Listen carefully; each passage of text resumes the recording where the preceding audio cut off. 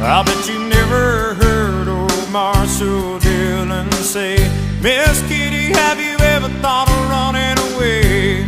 Settling down, would you marry me? If I ask you twice and beg you pretty please She'd have said yes in a New York minute They never tied a knot His heart wasn't in it He just stole a kiss as he rode away He never hung his hat at Kitty's place. I should have been a cowboy. I should have learned to rope and ride. Wearing my six shooter, riding my pony on a cattle drive. Stealing a young girl's heart,